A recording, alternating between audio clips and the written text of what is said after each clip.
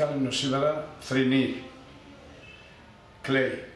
Γιατί; Χάσαμε έναν δικό μας άνθρωπο, χάσαμε το Βασίλη, το δικό μας Βασίλη.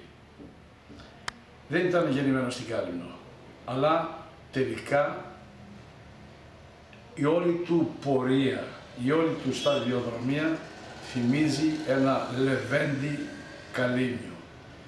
Ο Βασίλης ο Σεβαστής κόσμησε τον ελληνικό αθλητισμό.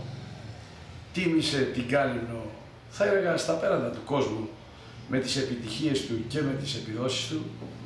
Γι' αυτό θα μας λείψει έντονα η φυσική του παρουσία. Το άκουσμα του θανάτου του προσωπικά, επειδή το γνώριζα πολύ καλά, με γέμισε θλίψη.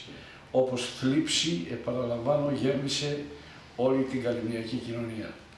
Έδωσα εντολή στον πρόεδρο του Δημοτικού Συμβουλίου και θα συνεδριάσει εκτάκτο στο Δημοτικό Συμβούλιο για να εκδώσει ένα ψήφισμα προς τιμή του αείμνηστου πλέον Βασίλης Σεβαστή. Ε, θέλω να εκφράσω τα ειλικρινή μου συλληπιτήρια στην οικογένειά του και να ξέρει ότι η Κάλυμνος, η ίδια η οικογένειά του πρέπει να αισθάνεται περήφανη για τον άνδρα, τον πρωταθλητή η Βασίλη Σεβαστή. Ε, πραγματικά δυσκολεύομαι με αυτά που λέω, αλλά θεωρώ ότι ήταν χρέος μου να τα πω. Ευχαριστώ πάρα πολύ.